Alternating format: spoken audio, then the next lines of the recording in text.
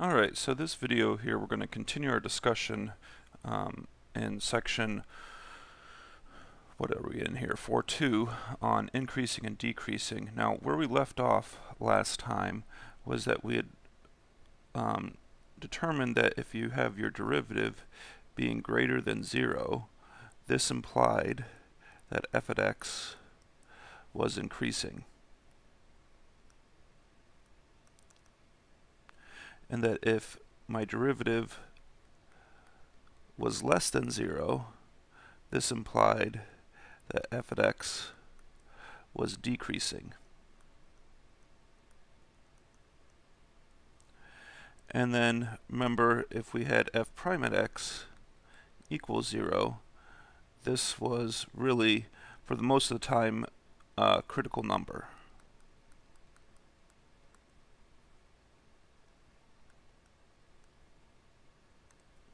I'm going to pause this here a second. I'm going to change my grid. I don't like, I thought I'd like the smaller grid, but I'm going to change this here a second.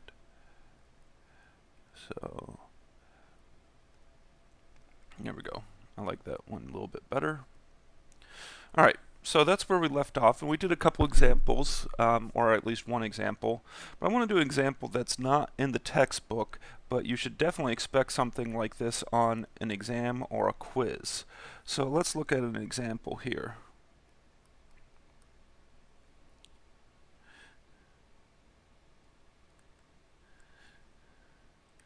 So I'm going to write it out here.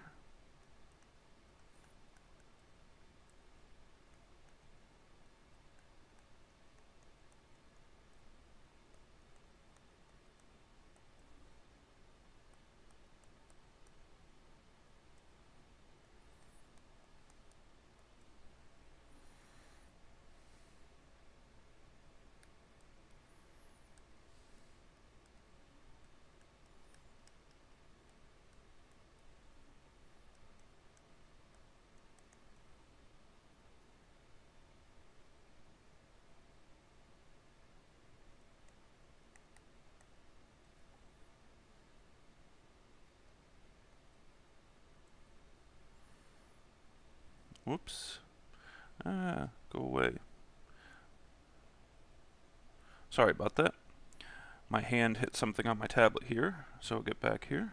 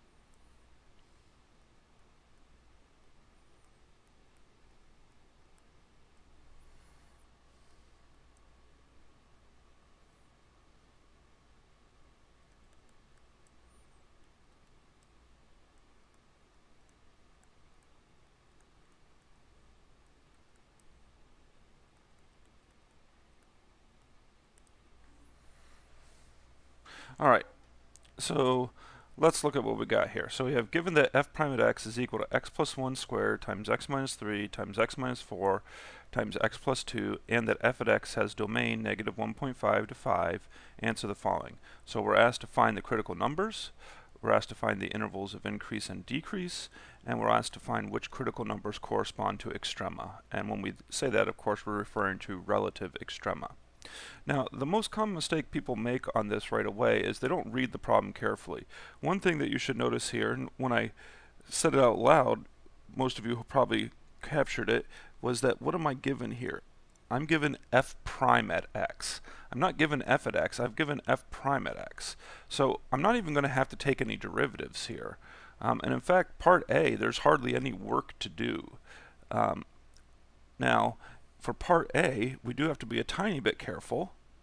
So we know for critical numbers, we're looking for 0 is equaling f prime at x. And you get 0 is equal to x plus 1 squared times x minus 3 times x minus 4 times x plus 2. Now, from this, it's pretty easy by inspection to write down what values make this 0. We can see that this is 0 for x equals negative 1, 3, 4, negative 2. But if we were to leave this as our answer, this is not correct answer for A. Because remember, critical numbers have to be in the domain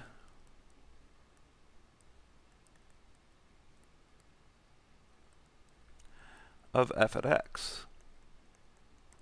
And the problem did state what the domain of f at x is. It stated that the domain of f at x is from negative 1.5 to 1.5. So I need to pick the values that are in that interval here. So my actual answer here are my critical numbers. Well, negative 1 is in the domain, so my critical numbers would be x equals negative 1. 3 is in the domain, 3, and then 4 is in the domain, 4. But notice here that negative 2 is not in my domain. So negative 2 is not a critical number.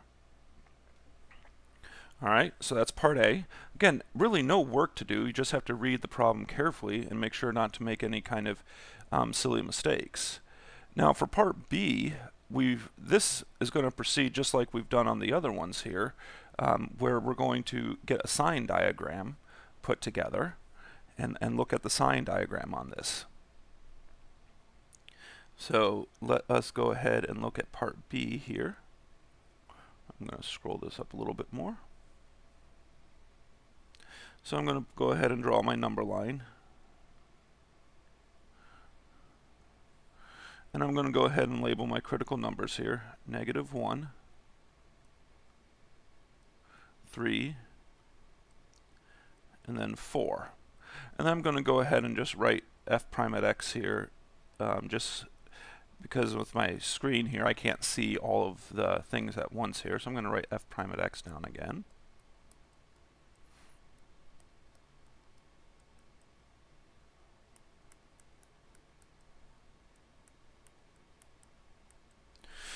Now we do have to be a little bit careful here. One thing I'm going to put in here is I'm going to put in a parenthesis here on my number line and put negative 1.5. And then I'm going to put a parenthesis here and put 5. Because my number line doesn't go on forever in this case, it ends. And the key thing is because we know we're going to be testing these x values in this number line here. We're going to be testing these to see if they're positive or negative.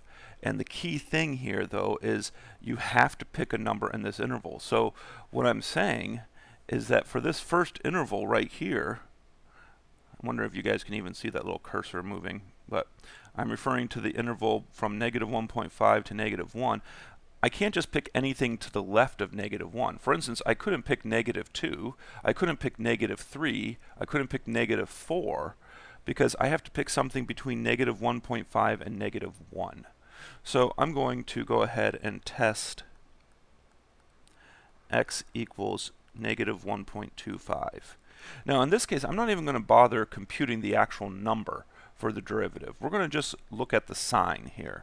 So I have f prime at negative 1.25. This is going to be negative 1.25 plus 1 squared times negative 1.25 minus 3 times negative 1.25 minus 4 times negative 1.25 plus 2.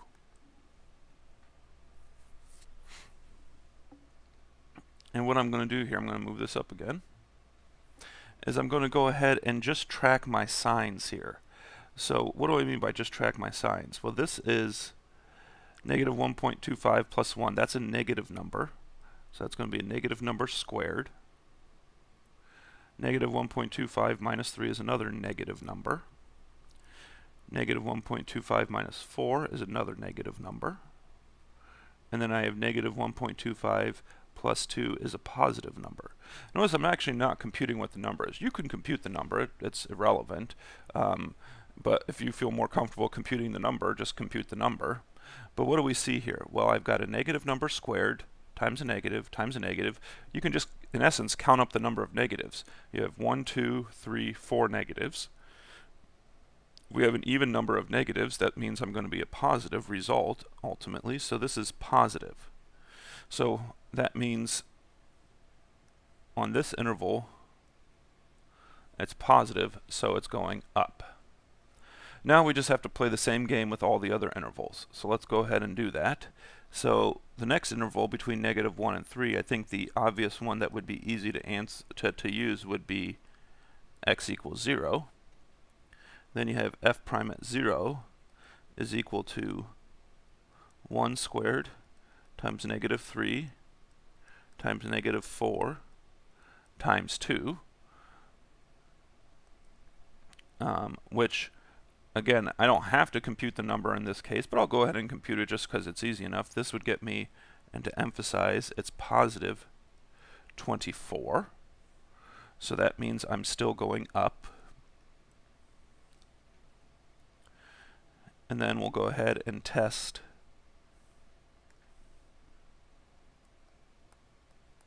The next interval I have to pick something between 3 and 4, so let's do 3.5. And so f at 3.5, f prime at 3.5 is equal to 3.5 plus 1 squared, 3.5 minus 3, 3.5 minus 4, 3.5 plus 2. And then again, if we do the same kind of idea here, this would be a positive number squared. This would be a positive number. 3.5 minus 4 is negative. 3.5 plus 2 is positive. And so we have this resulting here. So this would give me, oops, not keeping track of my signs. This obviously gives me a negative. So that means I'm going down. And then finally, I'm going to squeeze it off to the side here so I don't have to lose my sign diagram. We need to test something between 4 and 5. So I think it makes sense to test x equals 4.5. And so we'd have f prime at 4.5.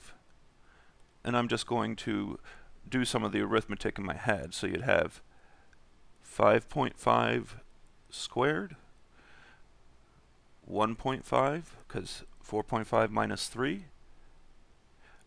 4.5 minus 4 would be 0.5. And then 6.5.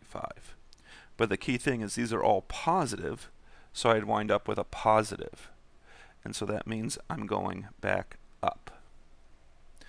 And so I'm going to just kind of remember this here um, and then write my answer down here. So I might have to scroll back and forth here just because sometimes memory is not great. So where's the intervals of increasing? Well, intervals of increasing, negative 1.5 to negative 1, negative 1 to 3, and 4 to 5.